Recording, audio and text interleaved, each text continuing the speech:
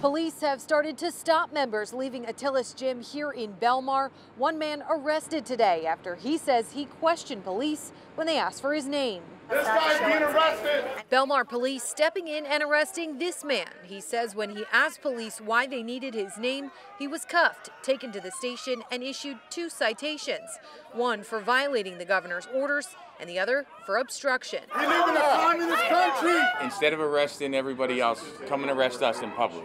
A handful of other members were stopped by police today leaving the gym and asked for their information.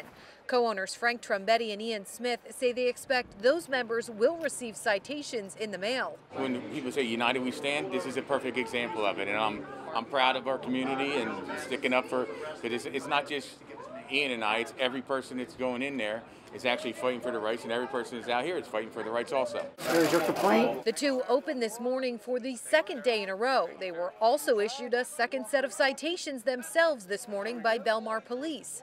Their response to that? Thank you, Mr. Officer. I'll see you tomorrow. We asked members what their thoughts were. Are you afraid of being arrested for being inside?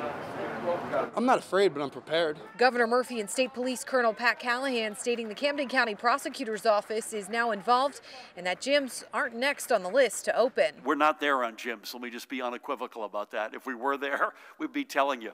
Uh, it's indoors, it's a lot of physical activity, close proximity. Police also dealing with crowd control today, asking those who wanted to protest to do so from their vehicles. One woman tells us she was cited for organizing a protest. In Bellmawr, Camden County, Erica Such, News 12, New Jersey.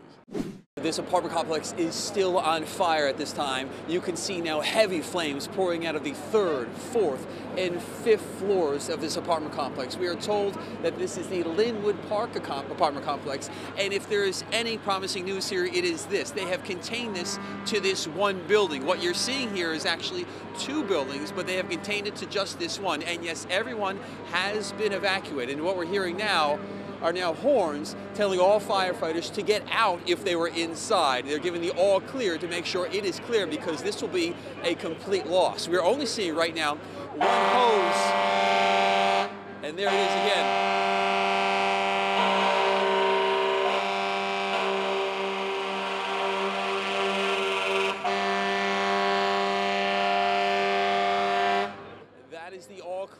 Just heard, telling all these firefighters to back out, back off, because this will be a loss. They have pretty much given up because it is out of control this time, and they're going to now let this burn and get everyone out to make sure everyone is safe. We have been told by fire officials that this started around 4.15 in the afternoon in the basement of this apartment complex. The cause is not yet known. Immediately they started firing, fighting this from the ground as well as the roof, but it has gotten out of control to this point. We can tell you we spoke to one victim, a man who was just inside going about business as usual. This is what he had to say to us earlier.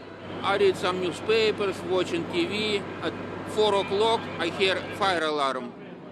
So the alarms went off. Oh, loud. Okay, when you walked out, was the hallway filled with smoke? Completely. Did you have an easy time getting out, or did you have to help others? I have to run, run away.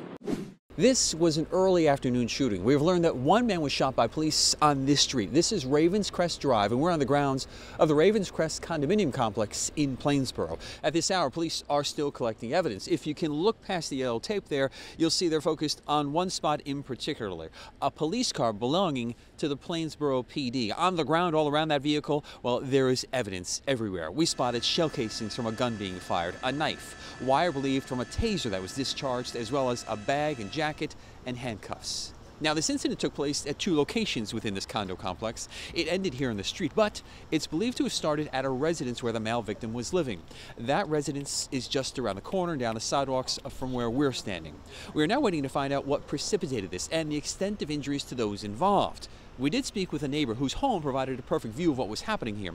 He's hearing that the incident may have been related to an eviction.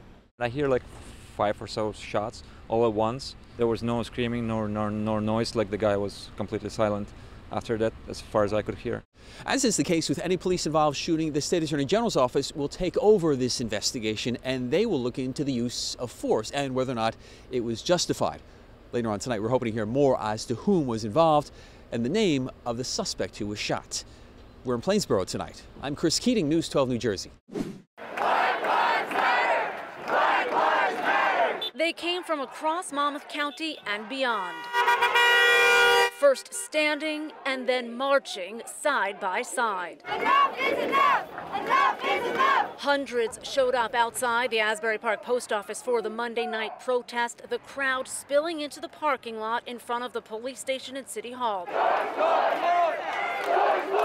At one point, in a moment of solidarity caught on camera, local police officers and sheriff's officers got down on one knee alongside protesters to honor George Floyd. This is uh, very serious, and uh, that type of brutality, it's got to end. It's got to stop now. Because it could have been me or anybody else, could have been you. I feel it's important that they know what's going on and that they're part of the, a positive change and that they stand up for the rights of people who have not as loud of a voice as we do. Jamie Sanders of Manasquan brought her three kids to teach them the importance of speaking for those who cannot, but also knowing how other protests like this one ended, stayed in the back, ready to leave just in case things got violent. We just hope that people use their heads and people don't come to just to cause destruction. Those people are not part of the movement. Frank Rongo's story started right here in Hoboken at what used to be known as the A.J. Demarest High School. Now here we are 70 years later and he is finally getting his chance to walk across the graduation stage. This arm will go right in here.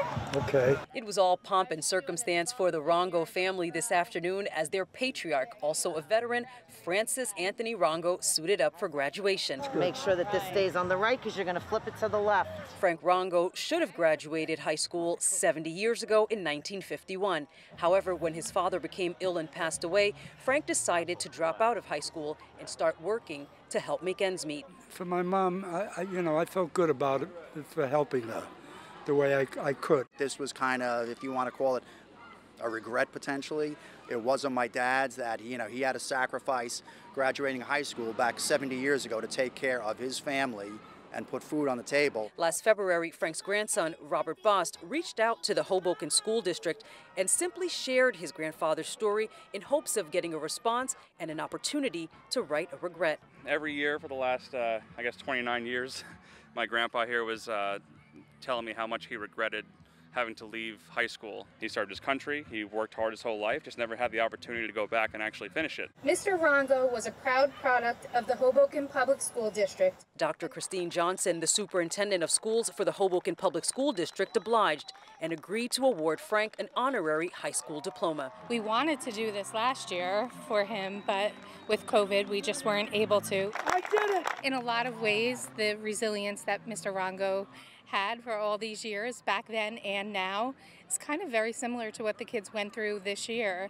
And so, what a great year to give an honorary high school diploma. It's fitting to do it. And on Father's Day, Frank got the big news that at 86 years old, he'd finally be a high school graduate. The commencement ceremony is this Friday.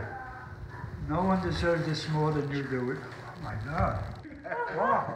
Frank, who also battled COVID this year, had the honor of graduating with Hoboken High School's class of 2021, a class that faced its own challenges because of the pandemic. In the end, the class of 2021 and a graduate from the class of 1951 shared a story of resilience.